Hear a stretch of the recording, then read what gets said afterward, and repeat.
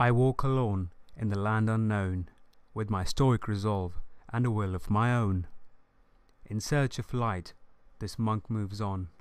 I say to you, your heart is my home.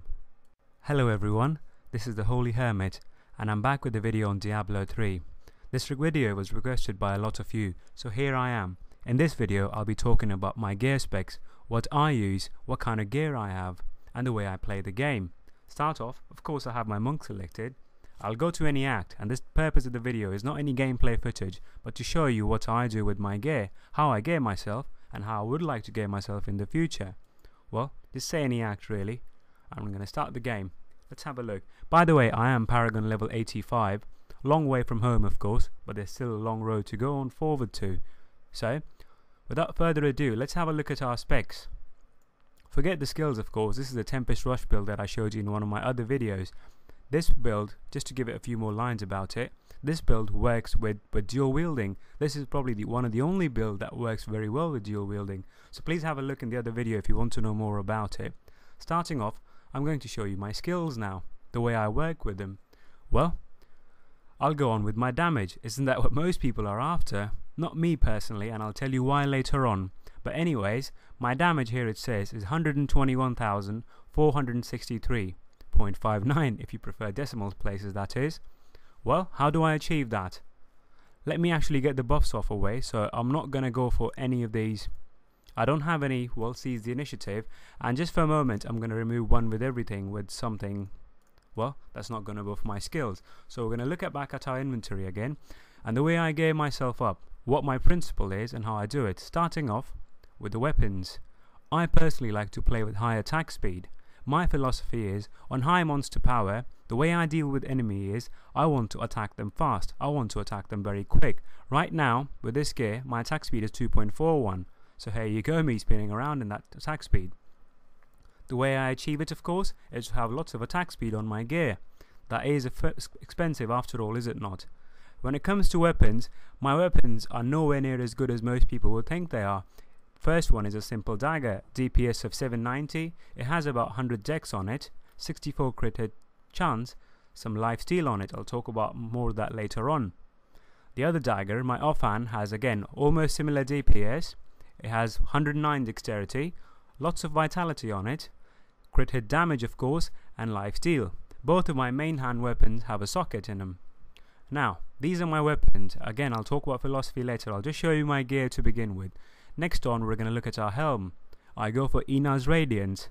Now, I don't want to gear my monk fully on Inna's set. It's all well and good, it looks good on paper, but I can promise you, if you want to spend a lot less money and gear even get better DPS, I believe, and resistances, of course, there are other ways around it. Well, looking at Inna's Radiance, why I like it, of course, it gives you dex, vitality and all, and for me, I am a lightning, sorry, I'm a, I am a lightning monk by the way. So if you look at my resistances now, I'm averaging 222, 22, sorry. So that's my all resistance. So I would like to gear myself according to that, as in I'll get all the lightning resistance. So when I use one with everything, then I can get up to a higher one. Now this is a shame really, I'll personally do admit that. I would like to go on a higher all resist, as in not depend on lightning resist, or as in I can get rid of one with everything. I can't do that at the moment, it's a problem because it's going to cost me a lot. But anyways, we're talking about Inna's Radiance. It gives me dex, it gives me vitality, and it gives me lightning resistance. What I'm also well, one of the most important things I'd say this about this one is it also has armor, so I'm also getting armor from it and lightning resistance. Crit hit chance, always go for the maximum one. And as a rule of the thumb, which all of you understand by now, is always have a socket in your helm. Well, you can get other ones, of course, but this one, well, it allows you to do two different things. If you're farming up, you can put your Radiant Ruby in there. If not, you can have the Vitality Gem in there. Here I am with my Spirit Stone, of course. And another reason why you would want a Spirit Stone, I'm going to show you another one that I use. So this is my main one, I guess, if I want to do DPS. This one that I'm showing you right now is the one I use most of the time. Similar specs, of course, has high, decent amount of dex, some vitality, lightning resist.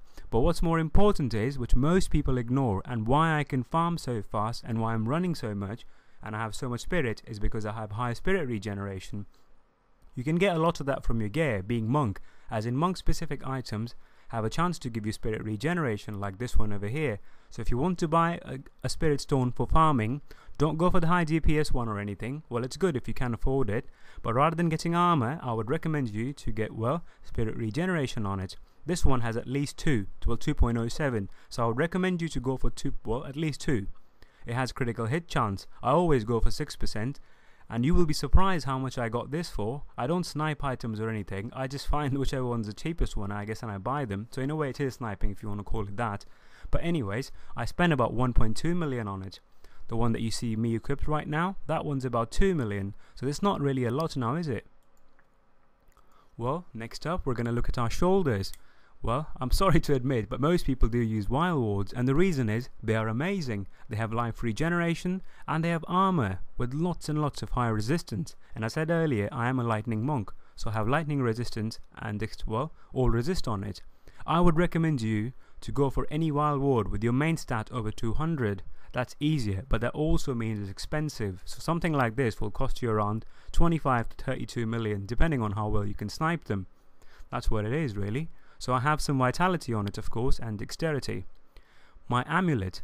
Now we're going back to my attack speed items. My attack speed is 2.1 and I'll show you which items compare to that. I can't get average damage on it. If you can that is amazing. But we all know how much these items will cost right? If you get an, uh, an average damage on it, the same amulet would be around at least 60 to 70 million. I got this one, believe it or not, for 4.1 million. So it has dexterity, it has vitality, it has my preferred resistance, some attack speed, critical hit chance as high as I could go, and a little secret again, it has life regeneration. So you've already seen two items with me that give me life regen.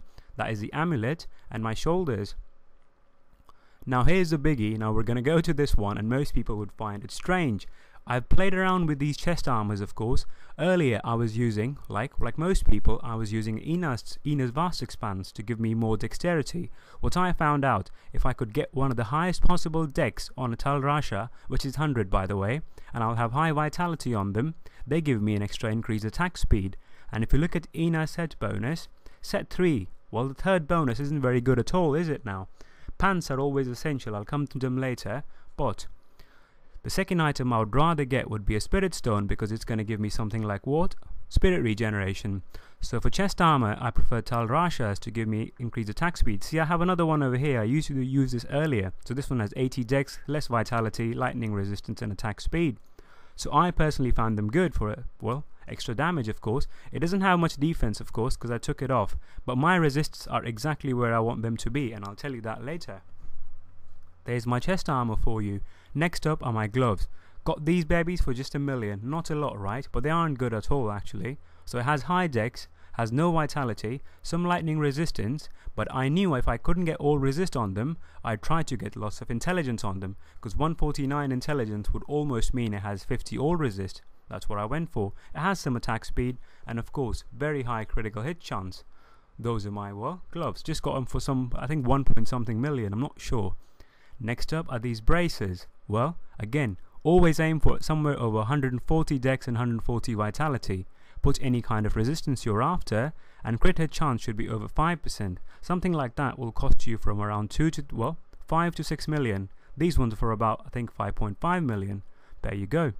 Going to the belt, of course. Well, there is no surprise there now, is it? Witching Hour. Got this for 34 million. It has decent dex, it has lightning resistance, attack speed and all, they always come. But another thing, my third item now, do notice that it has life regeneration. 127, 112, and well, 267. So three items now that I have that give me life regeneration.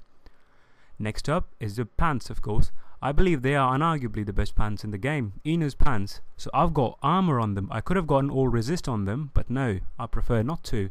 I'll get armor on them, and again, I'll tell you all about that later. So it has a decent amount of dex, max attack speed. Don't go for 8%, go for 9%. More the better, right? Rings. This one, I found it, I think I found it, well, yeah, when I was playing the game. So it has dex vitality. It doesn't have my preferred resistance, but what it does give me is attack speed and crit hit chance. Max ones, of course. It also has a socket. And this one, someone was kind enough to give this to me and I gave a few items in return. So this item is worth a lot on auction house, around 3 to 400 million, I'm, I'm not sure. maybe even more or less. I'm not sure. I'm not a big person on auction house, but it has lots of average damage, dexterity, lightning resist, my favorite, lots of crit hit damage, and a decent amount of crit hit chance with a socket. All well and good. Now, for my boots, I have Natalia's boots. Very high dexterity, no life, well, they're very expensive if I could. They already come with default armor, and most importantly, they have movement speed on. There you go, so they are very useful, of course. I've shown you my dagger, so this is basically my skill setup right now. This is what I use, this is how I play with. Now, talk I'll talk about why have I chosen these skills. I mean, it's fair enough and why I have these, but how do they work well? So in total, I have about 2500 dexterity, 1100 vitality, 4000 armor, and, well, the DPS you've seen already, 2.41 attack speed, 48% critical hit chance, and 473% crit hit damage. Now, I'll talk about some rules, of course, the way a character should be designed. I go for high attack speed, and with the attack speed, I have about what? Let's have a look over here. I have 5.8% life leech. I will steal, well, life. It's not life on hit, it's life steal. So every the faster I attack, the more life I'm gonna gain. That's simply how my build works, really. So lots of attack speed, timed with life steal, means you can survive on very high monster powers, as you saw me playing in the later videos. Crit hit chance and damage, they should always kind of have a 10 to 1 ratio, right? So if I have 48% of that, 10 times of that is 480, so I'm close enough, right? Now the most important part of being monk, being a monk like me, I guess. He's a, he's a silly guy just like me, but I guess I can play it decently well on high difficulty, so it does work. Most people go for DPS. I personally don't. If you ask me honestly, this DPS is way high enough. I prefer my DPS to be somewhere around 100k so I can do other things. Other things like what? Have armor. See, I have no seize the initiative on, nothing like that over here, and my armor is already 4000. Now that's good enough, is it not? My resistance is, well, not very high, but let's put, well, one with everything on. You know what that number is going to go to? Have a look, 540. So here's another one of my final secret to you guys. When it comes to surviving, when it comes to being a good monk, your armor should always be around from 5200 to 5500. That is, unbuffed of course, as in not with any skills. Your resistances should be anywhere from, as I said, 520 to 5500. Oh, sorry, uh, 520 to 550. Well, my resistance are doing well enough now, aren't they? But my armor is low. It's higher than most monks I see at my level, as in they'll only have 3500 to 3900 but still I have a lot long way to go so what I would like to do later on I guess is I'm gonna change a few items so I can include that in my gameplay. Well, here's my monk for you. So I always play this kind of build, of course. I am all about speed. My, my principle is the faster I attack, the more life I'm gonna steal, the better I'm gonna survive. With a decent amount of armor, I take a lot of damage in. My dodge chance right now is high, it's 45%. And I've shown you how the dodge centric build, I can take that to 65%. If I put seize the initiative on, as simple as that, well, my armor becomes nice. It becomes where I want it to be, 5200, 55265. So this is where I'd like to be. This is my humble monk for you. If you want to join me playing farming or anything, please just give me a message, join me in game, come and find me, and we'll definitely have a game together. I hope you liked this video of mine. This was my monk for you. You all requested you wanted to have a look at my gear, so here it is. Well, I'm out now. Thanks very much for listening. Subscribe if you will. If you've got any other questions, leave them in the comment section below. So, this is your Holy Hermit signing out. Thanks very much for listening. I'm out now. Bye.